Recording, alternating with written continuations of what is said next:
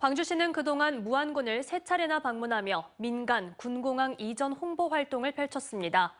오늘은 무안군의 한 양파밭을 찾아 농민들의 일손을 도우며 군공항 이전 설득에 나섰습니다. 보도에 김영창 기자입니다.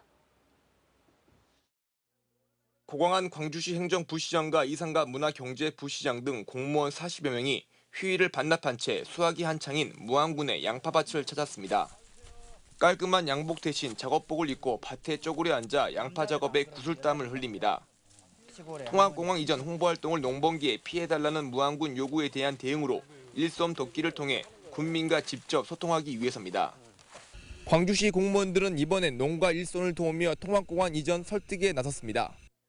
이번 홍보활동에서 반대 단체들의 집회는 없었습니다. 광주시의 홍보 캠페인을 바라보는 무안 군민들의 반응은 엇갈렸습니다. 이례적인 일손 돕기가 도움이 되지 않을 것이라며 냉소하는 이들이 있는가 하면 진정성이라고 볼 수가 없겠죠. 음, 뭐 무한 국민들한테 뭐 앞으로 하려고 그러는 건지는 모르고 모르겠고.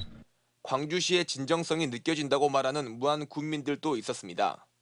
이쪽에서 이제 반대하는 여론이 많잖아요. 그걸 그 끈, 끈기 있게 설득을 하려고 하는 노력이 지- 보여져요. 통합공항 이전 설득에 나선 광주시의 이번 무안 방문은 네 번째. 광주시는 다양한 형태의 홍보 활동을 펼쳐나갈 계획이라며 다음 달에는 특히 지역 발전 구상이 담긴 공항도시 무안 발전 토론회를 연다는 계획입니다.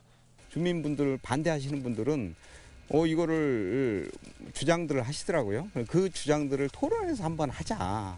어, 앞으로 저희가 좀 음, 계속 토론을 하도록 이제는 책임 있는 정치인들과 단체장들이 서로 만나 실마리를 풀어야 하는 것 아니냐는 목소리도 커지고 있습니다.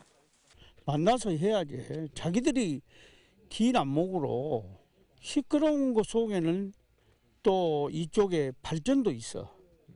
그러니까 실리를 따져봐야 돼. 이런 가운데 김산 무안군수는 지난 5일 김영록 전남지사와 무안공항 활성화 관련 2차 회동을 가졌는데 이 자리에서 김 군수는 오는 11일로 강기정 광주시장의 무안 방문 때 우발적 상황이 우려된다며 광주시의 홍보 캠페인 자제를 강력히 요청했습니다.